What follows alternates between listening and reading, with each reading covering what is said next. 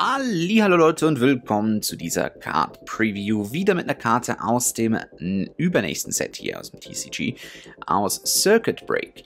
Ja, erscheint am 20. Oktober 2017 hier bei uns, bringt drei neue Archetypes und Support für viele ältere Archetypes. Ähm, die Karte, die wir uns heute anschauen, ist mal ein Link-Monster.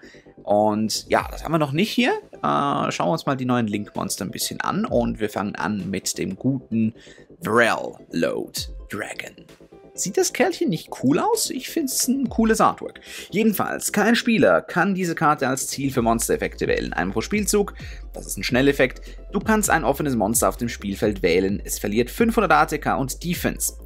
Dein Gegner kann keine Karten und Effekte als Reaktion auf die Aktivierung dieser Karte aktivieren am Beginn des Damage Steps. Falls diese Karte ein Monster eines Gegners angreift, du kannst die Kontrolle über das Monster übernehmen und es in eine durch diese Karte verlinkte Zone legen. Lege das Monster während der Endphase des nächsten Spielzugs auf den Friedhof. Cooler Effekt. Ist im Prinzip so ein bisschen, äh, ja, Gehirnkontrolle für einen Zug. Und, äh, aber dieses Mal natürlich wieder uneingeschränkt. Also ich kann eigentlich wirklich wählen, was ich gerne möchte. Das ist schon mal sehr, sehr cool. Äh, mit seinen 3000 Angriffspunkten ist er auch gar nicht mal so schwach hat einiges auf dem Kasten. Naja, er braucht halt die entsprechenden äh, Effektmonster dafür, um es zu specialen. Ähm, mindestens drei an der Zahl. Ah, ist ein bisschen wenig, äh, ein bisschen viel, aber naja, was soll's. Wird ein Ultimate, äh, eine Ultra Rare sein. Ultimate ist in Japan. Gibt es das nämlich noch, nicht wie bei uns, wo Konami ja kein Geld mehr dafür hat. Und die Link-Marker sind eigentlich auch ganz praktisch. Sie zielen auf die zwei Zonen ähm, schräg unter dem Link-Monster. Gar nicht mal so übel.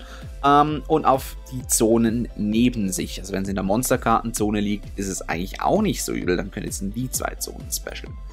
Äh, oder beziehungsweise verschieben. Ja, Barrel Dragon. Fehlt noch meine Bewertung. Was gebe ich denn dem Kerlchen hier? Ich habe lange überlegt. Ähm, ich finde es eigentlich einen sehr, sehr, sehr, sehr, sehr starken Effekt. Aber durch das, dass er halt erstmal, ja, man muss ihn zuerst Link beschwören, dann muss er noch angreifen und der Angriff muss auch irgendwie so halbwegs durchkommen zumindest. Ähm, ist eine gute Karte. Ich würde ihm jetzt eine 6 von 10 geben. Das kriegt er von mir. Jetzt ist natürlich die Frage, seht ihr das genauso? Oder würdet ihr ihn höher oder tiefer einschätzen? Ich würde mich riesig freuen, eure Punktzahl in den Kommentaren lesen zu können. Schreibt es da rein, schreibt mir vielleicht auch eine kleine Begründung, wieso ihr das so seht.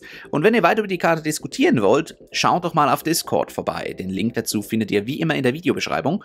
Und ja, das war's eigentlich schon. Wenn es euch gefallen hat, lasst einen Daumen da, das wäre klasse. Und ein Abo wird auch weiterhelfen, denn dann verpasst ihr nicht die nächsten Card-Previews und was es sonst noch so alles auf diesem Kanal gibt. Das war's von mir für heute, bis zum nächsten Mal und ciao Leute.